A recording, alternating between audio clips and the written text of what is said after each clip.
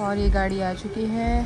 Good morning everyone क्या हाल है आप सबके? भाई आज हम जो है हम्म, परिचय पे आई हैं? तो जी हम सुबह सुबह आज संडे के दिन नाश्ता करने जा रहे हैं और प्लान था इनके बाबा का और मेरा।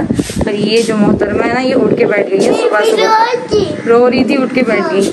हमारा सारा प्लान चौपट कर दिया इन्होंने। तो हम जा रहे हैं बाहर नाश्ता करने। चलो चलो चलो चलो चलो चलो चलो फास्ट सुबह के इस वक्त पौने नौ बज रहे हैं।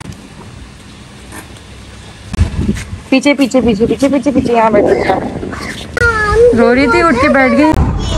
तो इस वक्त हम लियारिया एक्सप्रेस पे है और मौसम बहुत ही खूबसूरत हो रहे हैं।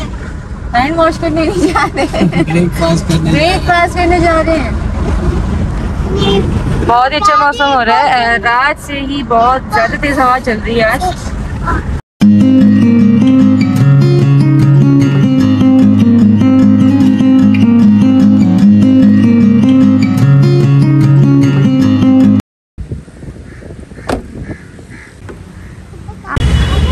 आज का नाश्ता हम करने वाले हैं कोयला चाय पर।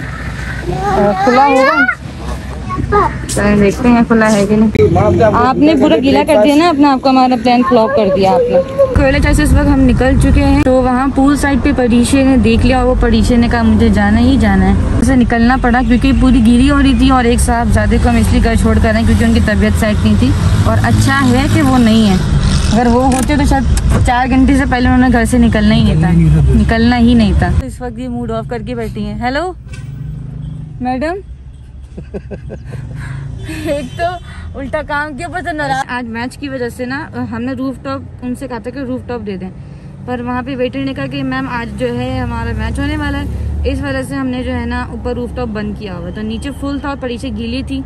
और गीले कपड़े होने की वजह से एसी में बैठना तो बीमार वाली होने वाली बात थी। इस वजह से हमने इन्हें वहीं से निकाल दिया कि चलो कहीं और चलो।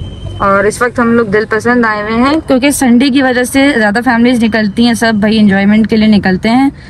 तो इसी वजह से यहाँ पे ज़्यादा रश आया हुआ है इस वक्त। मैं आपसे नाराज़ हूँ।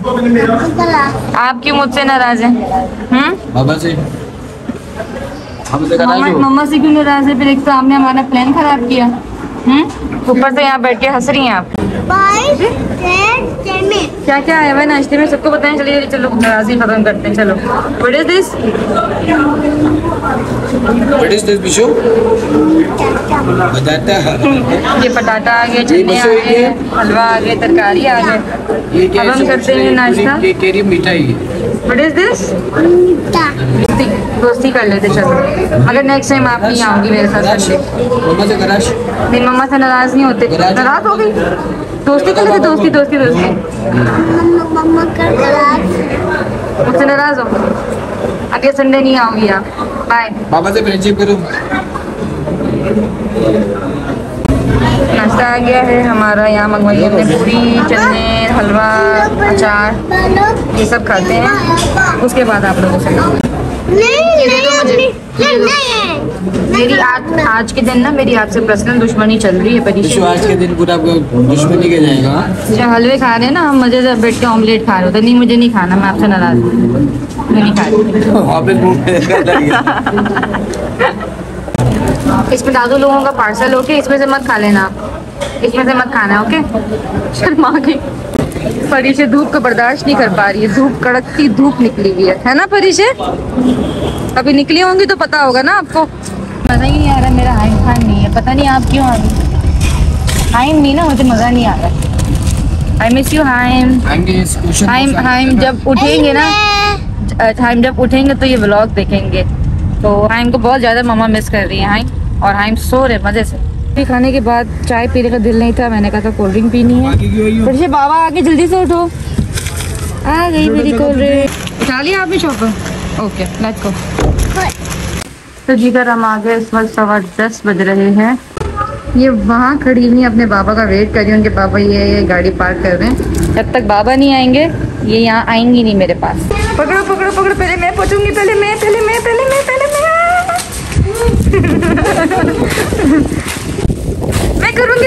मैं करूँगी? अरे यार आपने कर दिया प्रेस बाबा का वेट कर रहे थे रुक जाए। भाई हम जो है घर आ चुके हैं। मुझे लगा शायद अम्मी या पापा जाग रहे होंगे। तो नाश्ता दे देंगे तो सारे के सारे सोए हैं नाश्ता यहाँ रख दिया है। जी आप भी दे दें।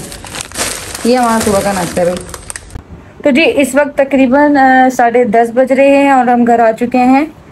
गर्मी बहुत थी बाहर पर यह है कि मौसम बहुत ज़्यादा अच्छा था। तो आज सोचा मैंने कि थोड़ा डिफरेंट व्लॉग होना चाहिए मतलब नाश्ते आपसे कोई बात नहीं करा आप लेटी रहे लेटी रहे बहुत अच्छी लग रही है। परीक्षा में गुस्सा मुझे इसलिए आ रहा है क्योंकि उन्होंने हमारा पूरा प्लान खराब कर दिया। हमारा प्लान था कि हम नाश्ता करने जाएँगे कोयला चाय रूफ टॉप पे बैठेंगे। वैसे रूफ टॉप तो उन्होंने बंद किया हुआ था आ, मैच की वजह से। खैर उन्होंने कहा बाहर बैठ जाए पर इन्होंने पूल देख लिया और सब कुछ हुआ और हमें वापस वहाँ से निकल के दूसरी जगह जाना पड़ा। बड़े चौक के बच्चे हैं बच्चों के साथ ही सब कुछ मैनेज करना होता है।